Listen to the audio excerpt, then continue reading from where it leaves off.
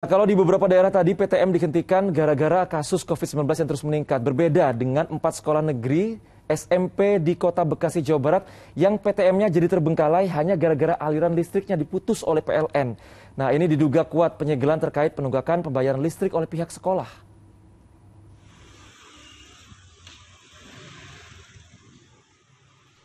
Empat SMP negeri di kota Bekasi, yaitu SMP Negeri 20, SMP Negeri 28, SMP Negeri 35, dan SMP Negeri 6, mengalami mati listrik akibat jalur meteran listrik disegel pihak PLN.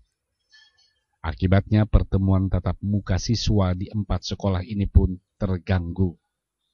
Di SMP Negeri 20, di Jalan Felicia Bilangan Jati Bening 2, Kecamatan Pondok Gede, Kota Bekasi, Senin pagi, kondisinya memprihatinkan. Pihak sekolah menunjukkan dua meteran yang telah disegel.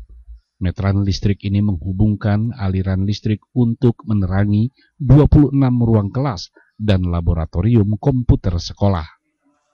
Akibatnya ruang kelas pun menjadi gelap dan beberapa mesin kipas angin mati. Menurut Humas SMP Negeri 20 Sutrisno, penyegelan oleh pihak PLN sejak dua hari lalu karena adanya penunggakan pembayaran listrik. Penunggakan terjadi karena pembayaran listrik yang awalnya dikelola oleh pihak sekolah diambil alih oleh Dinas Pendidikan Kota Bekasi pasca pembelajaran ajaran baru. Sementara ada peralihan pembayaran, hmm. kalau pada bulan-bulan yang lalu kan sekolah yang membayar, Nah, mungkin sekarang bukan sekolah lagi dari hmm. pusat. Sejak kapan peralihan itu, Pak? Dua bulan ini atau? Uh, mungkin baru bulan-bulan ini ya, Pak ya. Bulan Februari.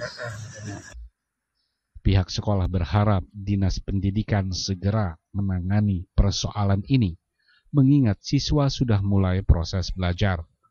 Diperkirakan tunggakan listrik yang belum dibayar mencapai puluhan juta rupiah. Awang Darmawan melaporkan dari Bekasi, Jawa Barat.